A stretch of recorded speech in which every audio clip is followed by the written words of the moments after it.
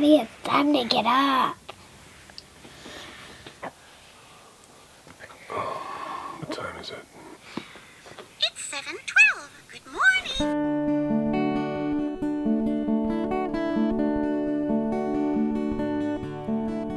Come, they told me, pa-ra-pa-pum pum, a newborn king to see, pa-ra-pa-pum pum, our finest gifts to bring, pa-ra-pa-pum pum. All right, so you want to know the deal? Yeah. Yeah? So today is Wednesday. Good. Funny, Wednesday. It's the Wednesday before Christmas. yeah. And for most regular people, that means smooth sailing into the weekend. Not a lot of work to do. You know what it means for daddy? Not sure? No. Essentially, it means this is the last day I could possibly make any progress on finding a job. And even then, it's probably probably not going to happen. Which means at the end of today, Go.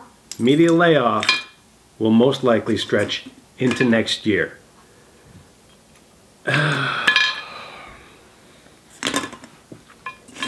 Can I have a hug? No. No. Can I have a kiss? No.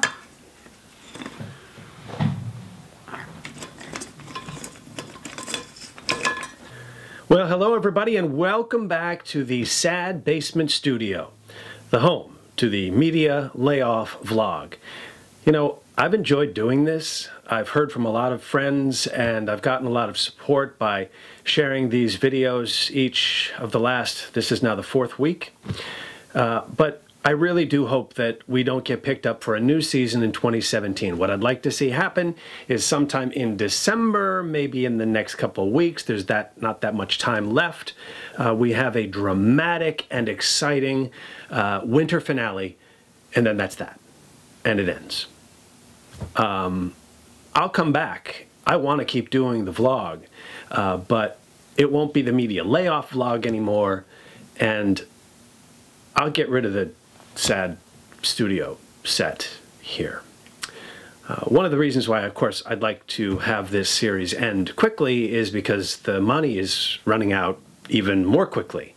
Uh, it's not gone yet, but uh, hang on a second. Yeah, hello? I'm doing I'm doing the vlog. What? You, seriously? Oh, okay. Hang on. Yeah. All right. Yeah. Talk. We'll talk about it later. Uh, so yeah, so as I was saying, uh, the money has run out, and for that reason, I really would like to get back to work. Now, with that in mind, Christmas is this weekend. Shall I play for you, pa-ra-pa-pum Uh, I made a decision, of course, with my wife that, you know, hey, don't get me any gifts because I'm not getting you any gifts this year. The only people who are getting gifts are our daughters, as it should be. Uh, I wanted to have a little fun. So I ordered some free at home try on frames from Warby Parker. Ha! They came today and it says, Good things await you. I hope that has dual meaning for me. I hope it's not just the frames, but also the future. Am I doing this right?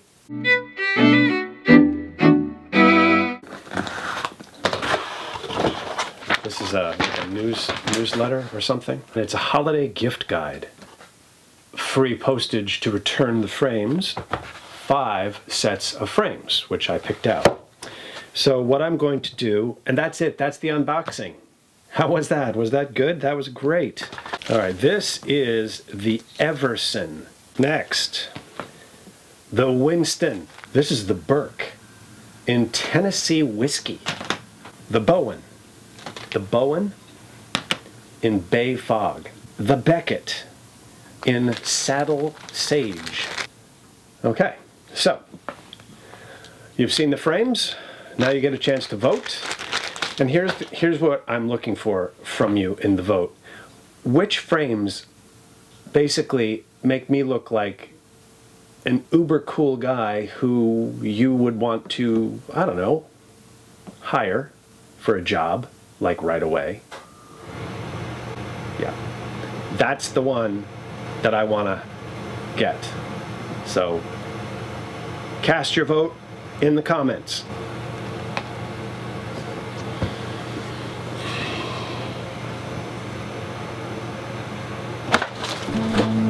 Have no gifts to bring, pa-ra-pa-pum-pum.